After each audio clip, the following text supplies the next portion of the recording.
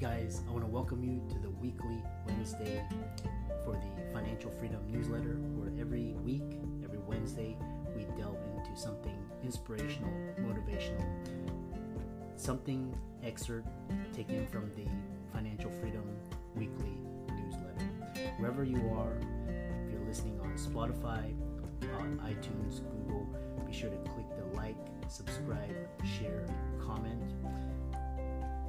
And without ado, let's get into the show. Welcome, everybody, to this week's podcast episode for the Financial Freedom Podcast. I'm your host, Dr. Christopher Loo. And as you know, we talk about four different types of freedom time, financial, location, health freedom. And I'm always scouring the globe looking for entrepreneurs doing things on the cutting edge in changing the world. So today we have a special guest, Dustin Riechmann, and he is on a um, mission driven purpose to help entrepreneurs rapidly increase profits without paid ads using a partnership marketing system. So um, he's a strategic marketing coach, and it's going to be a really fascinating discussion about high ticket sales, business growth, and the partnership marketing system. So, with that, I'm happy to welcome Dustin to the show. Welcome. Yeah, thanks, Chris. It's my pleasure. Really excited to be here and share a little of my story with your audience. Yeah, I know we had connected through um, PodMatch and Podfest, and so tell people your story, your business, and what it does. Oh, absolutely. So, really quick, uh, as I think a lot of our entrepreneurial journeys go, it's a little, it's a little uh, varied, but my professional career was actually as an engineer. Um, so I come from that background and I was a practicing civil engineering consultant for 15 years. But during the course of my career, I had a lot of side hustles and online businesses. Uh, the first of which was a company called Engaged Marriage, which grew out of marriage ministry my wife and I were doing. And so that brought me online in 2009. And then I got pulled into digital marketing as we were growing that business and doing courses and books and, and all those things. Um, and then the digital marketing pulled me into digital marketing consulting and working for a bunch of other companies, which pulled me out of engineering. So I left engineering as a as a full time endeavor in 2017 and have been full time entrepreneur since. Um, and so a couple key things that have happened in in that journey. One of the clients I had as a marketing consultant was a local butcher shop, and uh, the third generation owner of that butcher shop and and myself hit it off. And he said, "Hey, I have this other product." I'd like to bring online called FireCreek Snacks. And so that uh, I, I, got pulled into that and Shopify and e-commerce and and helped him grow that business. And then became a partner in the business. Ultimately, did a lot of traveling and trade shows and learned like wholesale and, and a whole different part of the of the business world. And then COVID happened, and so in 2020, uh, I was driving to a trade show and they said the trade show is canceled. And uh, also, all half your marketing clients are now gone because the businesses were shut down. I was working with like dentists and, and real estate brokers, et cetera. So that brought me in the summer of 2020 onto my first podcast as a podcast guest. And that's really where my current business picks up. Um, so I had been on about 50 podcasts and we grew FireCreek Snacks to seven figures with no paid ads and that became kind of my calling card and, and people started noticing what i was doing and started asking questions. And so uh, yeah ultimately led to business coaching marketing strategy and now i run mastermind groups that are helping entrepreneurs use podcast guesting as a vehicle to grow their business um, which is kind of crazy because before 2020 i had never been a business coach or had ever been on a podcast and now it's like uh, my full-time my full-time gig. So that's that's a little glimpse into why I'm so passionate about podcast guesting and, and other forms of partnership marketing. Yeah, it's quite interesting. You and I uh, followed the same kind of journey, and then kind of COVID kind of basically forced people to think differently, and some of them made it into full time and new careers and new businesses. Kudos to you. Um, tell us, uh, you know, this is interesting. This, uh, what is a partnership marketing system, and how does it work? Yeah. So the way I talk about partnership marketing is basically borrowing other people's audiences um, in a way that's really a win-win-win scenario. So podcast guesting would be one form of partnership marketing. So in we're doing it right now, but basically uh, the win for the brand or me in this case would be exposure to an audience that might be interested in what I have to say. They might become part of my community. They might want to buy a product from me at some point, but that's the win for me. Then the win for your audience is hopefully they're going to learn something today, a strategy, a an inspirational story, something that really helps them. And then, of course, the win for you, Chris, as the host, is if I'm serving your audience well, then that's going to increase the downloads of your podcast, make you look good because you've got good guests. And so it's really a win win win. Like in that scenario, no one loses. Um, we're all like rising, the rising tides floating all our boats. And that's really what partnership marketing is in a nutshell. So podcast guesting is like a, a kind of a universal way to do it for an online business, but some other ideas to give people get their wheels turning um, for my FireCreek Snacks brand, a big one for us was subscription box placements. So the idea that we would donate or give at a discount product into a subscription box, say a ketogenic diet box. Well, we get a win and brand exposure to our ideal customer. The consumer gets a win because they get to find a cool new brand that they really like. And then the subscription box wins because it's feeding their economic model by getting new product. So there's lots of examples of this, but that's the main mindset is like, how can you get what you do in front of your target market for free, uh, basically through education and through serving that, that, the end user in a in a fun, creative way. Yeah, and that uh, it's it's interesting. It's like um, basically bartering, and it's like so bartering social capital, relationship, relationship capital, and it's it's a fantastic way, especially social media. Um, you know, there's different ways of um, measuring um, capital. So it's not just financial or you know there's now different types. Um, so this is quite interesting leveraging that type. Uh, one thing is uh, the audiences you know this is piqued some of their interest. And then you know but a lot of them are thinking okay um, I, I, don't know anybody or you have a relative stranger. How do you create successful uh, win-win partnership. Yeah, you know, it, the the the key to it is leading with the win. So it's it's not it's being giving and not self-serving. So if I'm thinking of it could be a, even going all the way back to the FireCreek business partnership. That's like the ultimate partnership, right? As a business partnership. Um, that's that's sort of the marriage version. Where most of the time we're more like dating. It's like we're we're borrowing each other's audiences, but it's not that serious. Um, but even in a business partnership, um, I think it's instructive to talk about with Ryan, my business partner, and I, he was paying me to market his brick and mortar butcher shops, and that was great. Then when he had this idea of taking this product online, I said, "Don't pay me. I I can go create a Shopify store. I'll help you build an email list, and we'll start selling. If it doesn't work, no harm, no no foul. If it does work, then let's figure out a way then for me to be compensated." So for him, it was like, sure, let's try this. It's only an upside. And for me, it was something I was wanting to learn how to do anyway. I really liked the product and believed in it. I knew it was going to work, but like that would be an example of I gave first. So even though he was a relative stranger, I, I didn't provide any risk, right? So it wasn't like there's no downside. And I think with, say, podcast guesting, for example, maybe you don't know anyone, but you know, if you've been in business a little while, you know who your target market is so where does your target market hang out? Where do they aggregate? What do they what podcasts do they listen to? And then you identify that podcast and then you reach out to the podcast host talking about how you can serve their audience. So again, you don't need to know the host. All the host cares about when they open this email is does this person like a random weirdo from the internet or do they actually know who I am? And you're going to know who they are because you're going to do a little research. And most importantly, are they interesting and would they serve my audience? And if you can in, three to five bullet points talk about what you can share with the audience that would be intriguing fun instructive that they're going to say yes right? So that I, I, get that a lot like well what if i don't know anyone? Like well, you don't need to know anyone personally but you can still run this this partnership marketing system um, if you have the right mindset.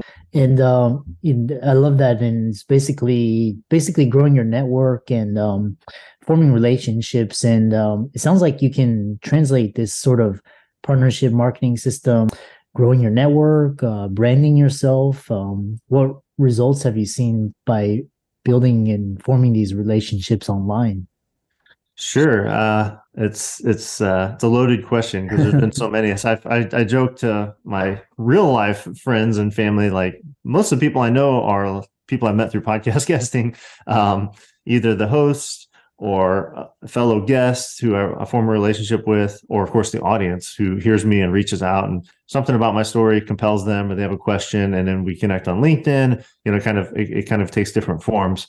But yeah, I mean, one, one real tangible example to kind of give people a financial uh, outcome from, from doing this. So I was on a show called, called Brand Builders, but it's by a company called SnackNation and they're a big subscription box company. And but they had a really cool podcast that dove deep into brands and like where origin of the brand, what's special about the brand, nitty gritty details about like packaging, ingredients, etc. So I was like, well, this I wanted to be featured in the subscription box, but they were way out of our league. But I thought we had a cool story, so I actually got us. I pitched them and got us featured talking about the business story behind FireCreek Snacks and how it came about. And then um, it went well, and then we got, did get a small placement in their box, and we got good reviews and that was kind of the end of it. Like we donated the snacks. It was not a great financial reward initially, but it got us kind of our foot in the door. And so literally a year later, so I plant I talk a lot about planting seeds. So like I plant you plant these different seeds and they will reap a harvest. You don't know if it's today, next year, two years from now, and how big the harvest will be. But in this case, there was a woman who reached out to me in January 2022 and said, Hey, I, I I'm the new category manager for salty snacks for SnackNation. I have looked at the reviews of our previous products, and you guys had really good reviews. I've tried the product; it's really good. And I went and back to our brand builder podcast, and I listened to all the stories of founders in our category, and I just love your story. What's your capacity? And I was like, well, it's pretty high. Why? You know, and so she, uh, long story short, she placed a purchase order for five hundred fifty thousand dollars worth of snack sticks.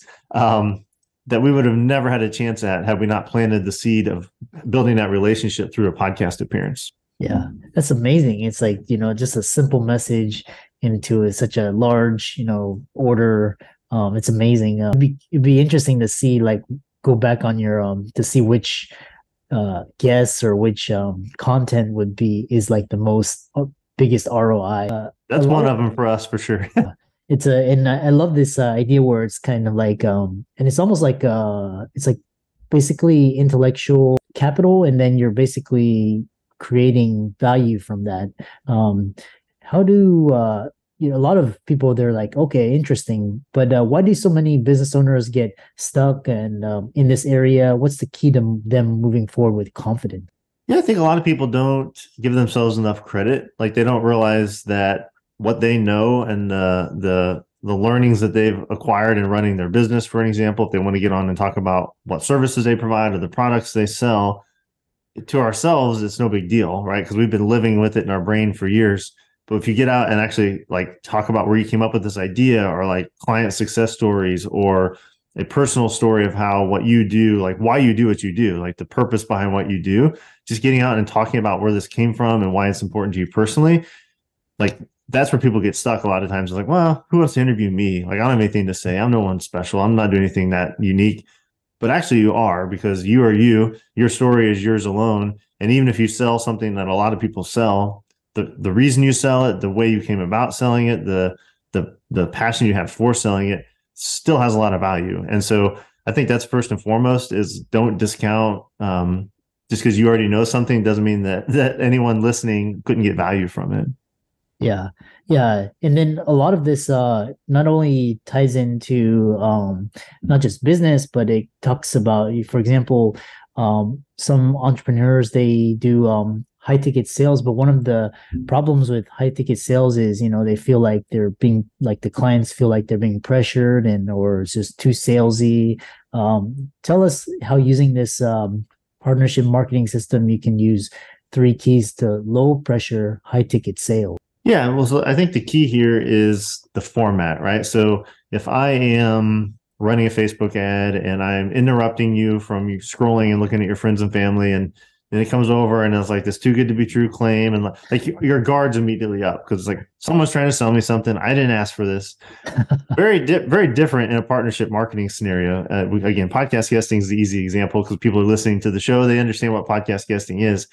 But in this scenario, like maybe they're a physician or there's someone else who's looking for financial freedom they're purposefully downloading this episode because they want to have some tool some case study to follow like they want to maybe they need a new marketing channel and like partnership marketing seems really cool because it doesn't cost there's no paid ads and it's it's relational it builds it builds on the network. So i think if you have a high ticket offer if you can simply be yourself get and talk an honest and transparently about what you do and why you do it and why you care, you will much more naturally attract people who would invest in you. Because uh, you know podcast guesting specifically as a strategy is really unique because it's 30 minutes oftentimes sometimes 45 minutes of just you telling your story and connecting emotionally with the audience.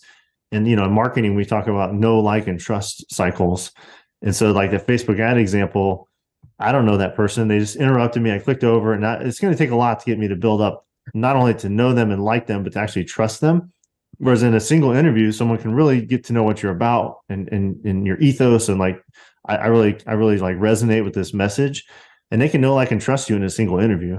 And if you can shortcut that process and um, educate people in this format, this long form like educational format, it can really have people be a warm prospect in one interaction, and rather than having like whatever the number is nowadays 70 t- touch points where they have to see your ads and see your emails and hear you see you on a billboard and like all these different things to like know like and trust you like you can actually accomplish that very quickly so that's special about partnership marketing and i think the other thing that's special is you really borrow authority right like if a host has you on they've screened you they understand what you want to talk about they've probably vetted your social media and your website to make sure you're not a crook or a spammer. Um, and so if someone listens to a show on a regular basis and then someone has a guest on and they actually come across as authentic and they, they know what they're talking about, like again, you've borrowed a credibility from the format, from the platform, from the host. And uh, that really shortcuts the whole high ticket sales process too. So no longer is high pressure. It's just, you know, it's it's much more casual because the person listening chose to listen they continued to listen. They share they they believe and trust in the host. And so now they're much more primed to the offer that someone might have for them versus the traditional forms of digital marketing that we've all kind of grown to resent in a lot of ways. Yeah. And uh, so, Will, um, you know, from a business owner standpoint, I know um, we're coming to the end of this uh, session, but um, from a business owner standpoint, automation, because you know, guesting takes a lot, you know, you have to contact them, you have to appear, you know, have to wait, all this. So how do you create a steady flow of highly qualified leads for your B2B business, you know, with this um, partnership marketing system? Yeah, I think for one, you don't need nearly as many leads because again, the leads are warmer. You're not your your funnel is a lot tighter if you think in terms of a sales funnel and traditional sales funnel. A lot of times, if you're bringing cold traffic into a funnel, there's a lot of drop off at every stage because people again aren't necessarily interested in what you do but if they've encountered you in this partnership marketing format where it's a win-win-win everyone's feeling good. There's great value being exchanged and they get a, a, a chance to really know like and trust you. I think that's first and foremost is you just have a lot less drop off. The second thing i'm a huge advocate of is outsourcing a lot of the a lot of the legwork of this. So like in a real quick snapshot the way the framework i work through with people in our mastermind groups and, and other programs it's five steps. It's five P's. I won't go through them in detail, but it's purpose, plan, pitch, perform, and profit. And purpose is why you're doing it. Plan is which shows you want to be on. Pitch is getting on them, and then perform is get, showing up and doing a good job. And then profit, of course, is leveraging each of these appearances to actually make the sales. Steps two and three in that process, which is the plan and the pitch, are very laborious. They're very repetitive and so what I like to do is work with the entrepreneur, get them owning that and and loving the kind of baseline uh, target market and and master pitch. And then we have we actually train a virtual assistant for them, and we place a virtual assistant with them, so that the virtual assistant in five hours a week can actually be running steps two and three all the time. So the entrepreneur literally just shows up to the interview. They don't have to do a lot of a lot of the legwork any longer, and that that's what makes this scalable. Because podcast guesting, to your point, is a little labor intensive. You know, there's there's a lot of outreach, there's a lot of thought that goes into that. But the great thing is when you set a system up the right way, someone else can do most of that legwork, and then you can just focus on the part that most of us like to do, which is talk about ourselves, talk about our business, and talk about the transformation we love to provide our clients. Yeah, yeah, I love that. Um, how can uh, how can people uh, contact you, reach out to you, um, follow you? Absolutely. Uh, Simple is my home base, um, so you can get on there and shoot me an email if you guys have a question about anything I covered. Uh, if you're interested in some free resources, we have a lot of free resources on there about partnership marketing, podcast guesting, etc. Uh, and my other platform of choice is LinkedIn. So I post every day on LinkedIn, very active there. Uh, I'm the only Dustin Riechmann to my knowledge. Uh, it's R I E C H in the last name. If you put in Dustin and then R I E C H, we can definitely connect on LinkedIn and would love to add people to the network there and continue this conversation. Yeah. And uh, for all the audience out there, let's thank um, Dustin for giving priceless wisdom about his experience. This is a really new way of um, marketing yourself and creating a brand, and it's very um, much simpler. If you use his um, re- his tactics, you can save a lot of time, get exposure. Be sure to follow him on social. He's on Facebook, LinkedIn, Instagram, as well as his website. All these resources will be in the links and show notes. And uh, with that, let's thank Dustin for a fantastic podcast interview. All right. Thank you, Chris. I appreciate the time and the attention. It's been a lot of fun.